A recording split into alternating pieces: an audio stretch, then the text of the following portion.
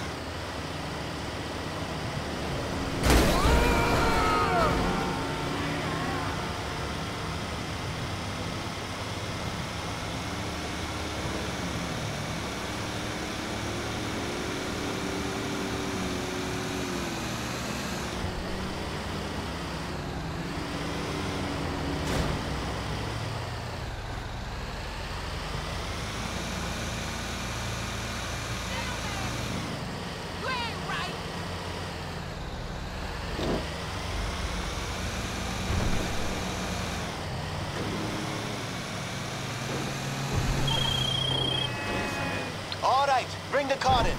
We'll salvage the parts and get paid in no time.